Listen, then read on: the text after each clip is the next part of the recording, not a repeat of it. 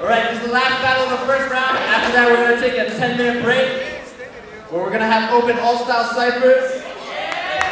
After the 10 minute break, we're going to start the second round of battles. So DJ Tony Drake, whenever you're ready.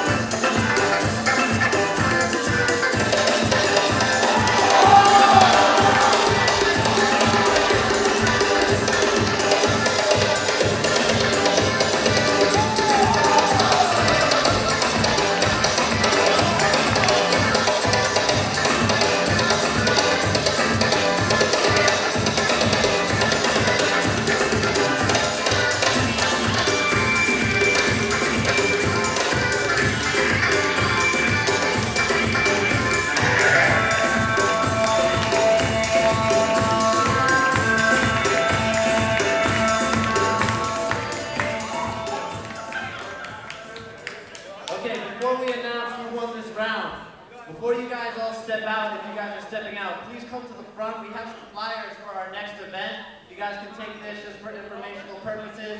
If you guys are interested in learning how to break dance, talk to me. I'll give you the information on the power. B-Turf teaches classes free.